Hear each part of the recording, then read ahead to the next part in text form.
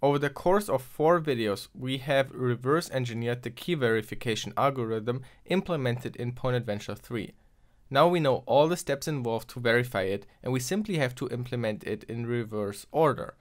There are two major algorithms that we have to reverse. One is the custom base32 decoding, but that should be fairly simple, it's just encoding. And the other one is the RSA decryption. And reversing RSA, or getting the private key, is usually not possible, but in this case a very small key size is used for RSA, so we are able to get the prime factors of the modulus easily. Which means we get P and Q and then are able to recover the private key. We have done this in the hardware video, so check that one out for more details.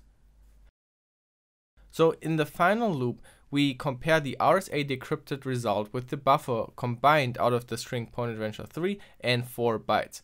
Those 4 bytes were from our user input.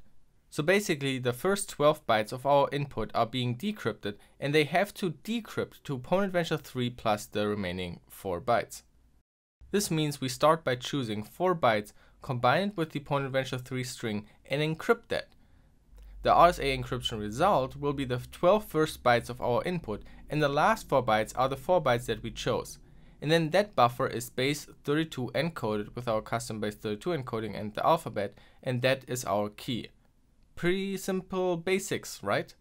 But there are a few details we still have to figure out. For example, one byte of the 4 bytes taken from our input is actually AND hex 3 and also the 4 bytes are then being shifted to the right and then XORed with hex 2 bad code. Also, the 4 bytes and the 12 bytes are obviously overlapping by 1, but yeah. So here, I wrote the keygen in JavaScript. I re-implemented the whole RSA encryption, or to be more specific, I re-implemented the modulus exponentiation with the same algorithm the assembler code in the last episode used, including the add and subtract and so forth. So if you had trouble to understand those algorithms last time, you can use my JavaScript implementation and add debug outputs and play around with it. Anyway, so here we generate the four random bytes. This buffer is the PwnAdventure 3 string and we combine those two, then we have to apply the XOR and shift and pass that to the RSA encryption.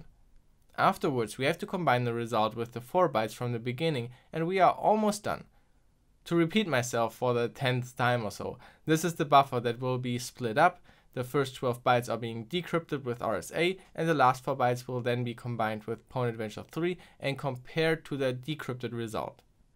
So here we have the output, which we now just have to base 32 encode with the custom encode function and also calculate the checksum.